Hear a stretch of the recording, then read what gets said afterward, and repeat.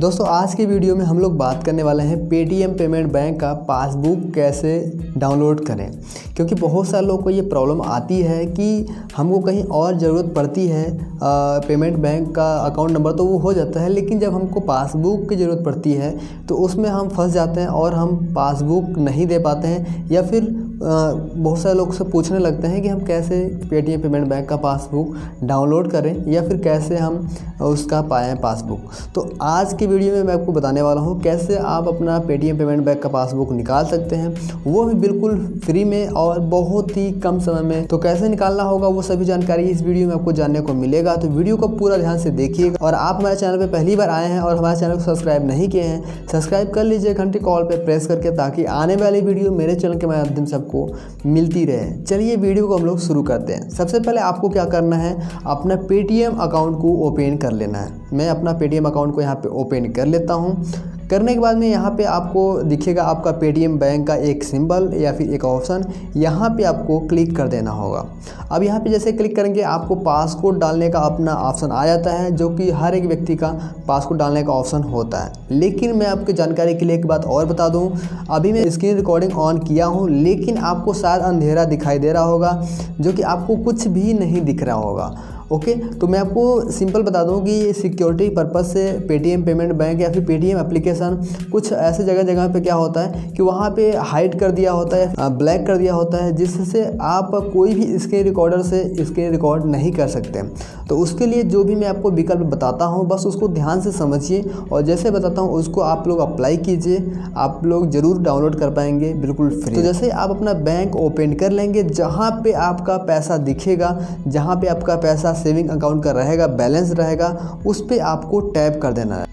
जैसे आप ओपन कर लेंगे सेविंग अकाउंट है, उस पर क्लिक करके तो आपको ऊपर ही साइड में आपको दो तीन ऑप्शन मिल जाएँगे, जिसमें कि add money download statement cash withdrawal या फिर स्लाइड करेंगे तो उसके बाद और सारे जो ऑप्शन मिल जाएँगे। लेकिन आपको क्या करना है डाउनलोड स्टेटमेंट पे आपको क्लिक कर देना है। मैं यहाँ पे क्लिक करता हूँ, करने के बाद में आपको आएगा, लिखा रहेगा कि रिक्वेस्ट स्टेटमेंट सबसे पहले ऊपर लिखा रहेगा एक छोटा सा विकल्प में प्लीज़ सेलेक्ट टाइम पीरियड तो यहाँ पे जैसे क्लिक करेंगे एरो पे तो वहाँ पे आपको ऑप्शन आ जाएगा कि एक महीना या फिर दो महीने या फिर छः महीने या फिर आप कुछ और डेट का निकालना चाहते हैं तो आपको अगर पासबुक चाहिए होगा ना, सिर्फ़ पासबुक से मतलब है तो आप सिर्फ़ एक महीने का भी निकाल सकते हैं या फिर कम समय का निकाल सकते हैं, उसमें कोई दिक्कत तो आपको मैं कहूँगा कि एक महीने का ही निकाल लीजिए, कोई दिक्कत नहीं होगा। और उसके बाद एक महीने सेलेक्ट जैसे कर लेंगे तो उसमें आपको दो ऑप्शन मिलते हैं। हैं पहला तो ये एक ऑप्शन मिलेगा गेट ऑन ईमेल जैसे आप ईमेल पे क्लिक कर लेंगे तो आपके ईमेल पर ही आपका जो पासबुक होगा, उसका पीडीएफ फ़ाइल आपको मिल जाएगा और वहाँ से आपको डाउनलोड करना रहेगा। और नीचे एक ऑप्शन रहेगा गेट ऑन एसएमएस तो आपको एसएमएस के माध्यम से मिल जाएगा लिंक वहाँ से जाकर आपको डाउनलोड कर लेना रहेगा। तो मैं आपको रिकमेंड करूँगा कि आप अपना ईमेल आईडी पर ही मंगा लीजिए। जैसे नीचे कन्फर्म बटन पर क्लिक कर देंगे, कुछ ही समय में आपके नोटिफिकेशन बार में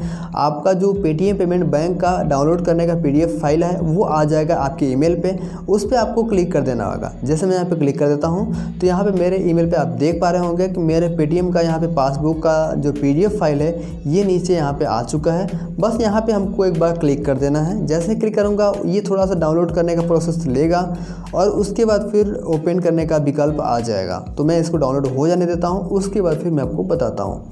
जैसे ये डाउनलोड हो गया, उसके बाद यहाँ पे दिखा रहा है कि आप किसके माध्यम से इसको ओपन करना चाहते हैं। तो मैं ड्राइव पीडीएफ व्यूअर पे क्लिक कर लेता हूँ और यहाँ पे मैं जैसे अपना फिंगरप्रिंट डाल लेता हूँ। उसके बाद फिर यहाँ पे आपके सामने ये स्टेटमेंट आ जाएगा। आपको अलग तरीके से कोई पासबुक नहीं होता है। बस यहाँ पे क्या होता है कि इसमें आपका नाम रहेगा और आपका एड्रेस रहेगा, आपका अकाउंट नंबर रहेगा। जो भी मेन मेन चीज़ें होती हैं पासबुक की, वो चीज़ रहेगा। देखिए यहाँ पे आप ऊपर देख पा रहे होंगे, जो कि मेरा कुछ डिटेल यहाँ पे दिख रहा है। तो सेम वैसे आपका भी डिटेल दिखेगा और यहाँ पे लेन देन कुछ है, वहाँ पे कर सकते हैं। बस आप क्या करेंगे, यहाँ पे जो भी यहाँ पे इन्फॉर्मेशन दिख रहा है, इसका आपको स्क्रीन ले लेना रहेगा जैसे मान लीजिए मैं आप ही स्क्रीन ले लेता हूँ।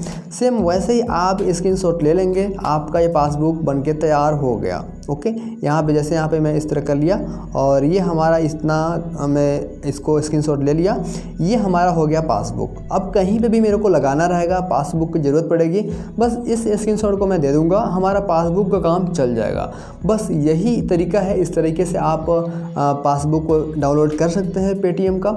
आपको ये वीडियो पूरा अगर आप देखे होंगे तो पूरा समझ में आ गया होगा। फिर भी इसके अलावा कोई आपके सवाल, सुझाव हैं तो आप मुझे कमेंट बॉक्स में कमेंट करके पूछ सकते हैं, या फिर बता सकते हैं। और ये वीडियो अगर आपको पसंद आई होगी तो लाइक करिएगा और इस वीडियो को जितना हो सके उतना अपने दोस्तों में ज़रूर शेयर करिए ताकि हर एक व्यक्ति पेटीएम का पासबुक बिल्कुल फ्री में डाउनलोड कर पाएँ। और आप हमारे चैनल पर अगर पहली बार आए होंगे तो चैनल को हमारे सब्सक्राइब ज़रूर करके जाइएगा, घंटी कॉल पर प्रेस करके। चलिए आज के लिए इतना ही, फिर मिलेंगे एक नई वीडियो साथ में। तब तक के लिए आप देखते रहें और सीखते रहें। धन्यवाद।